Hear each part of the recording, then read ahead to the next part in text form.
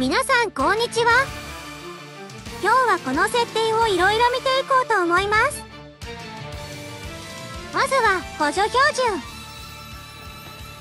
この真ん中にあるこれ。絶対オンにした方が良いね。この2つはボタンを押した時に攻撃するか離した時に攻撃するかの違いだね。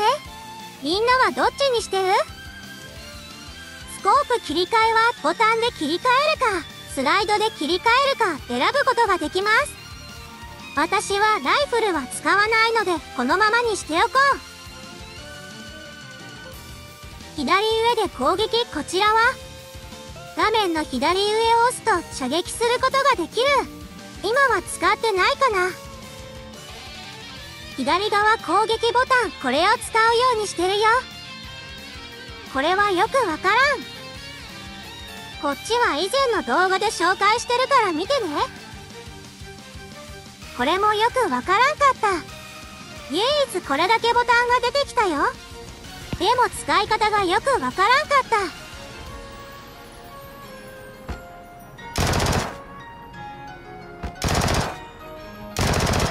た。次はこっち。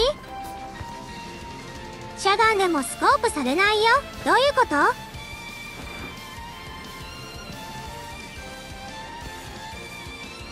この操作方法は3番にしてる。2番を使ってみよう。画面右側が射撃ボタンになったけどなんかやりづらい。この UI ボタンってなんだ？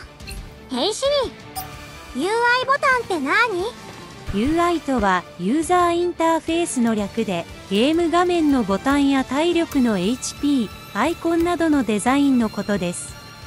次は乗り物これは3番一択。感度は少し下げた方がやりやすかったな。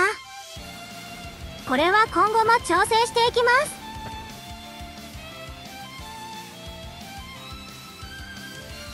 画面のデフォルトはこちら。ひとまずマックスにしてみます。おお確かに綺麗になったけど。こういうバトロワはコンマ1秒争う世界って聞いたことがある。脱出やフレーム数が高すぎると弾が当たった時の当たり判定が遅れるって聞いたことあるぞ。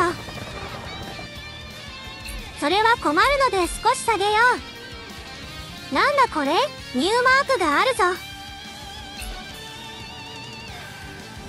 射撃した時の音が変わったのか？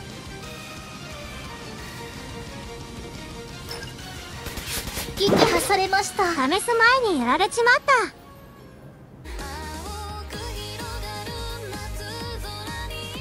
最後までご視聴ありがとうございました。